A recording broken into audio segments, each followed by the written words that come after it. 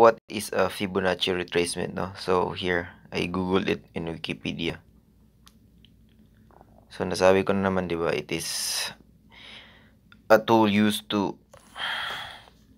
plot uh, support and resistance resistance levels. So, ito, technical analysis for determining support and resistance levels. Uh, Fibonacci retracement is based on the idea that markets will retrace a predictable portion of a move after which they will continue to move in the original direction.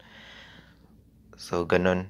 Uh, if there is an uptrend, a continuous uptrend, there will really be um, a point of time na yung price will come to a correction. So, magre-retrace yan.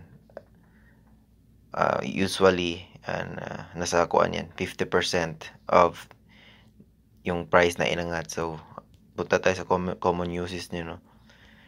It is a popular tool that technical traders use to help identify strate strategic places for transaction, stop losses, or target prices to help traders get in a good price. Kasi nga naman, di ba, levels of support and resistances yun. So, there, makikita mo kung kailan, kailan possibly na mahit yung target price mo.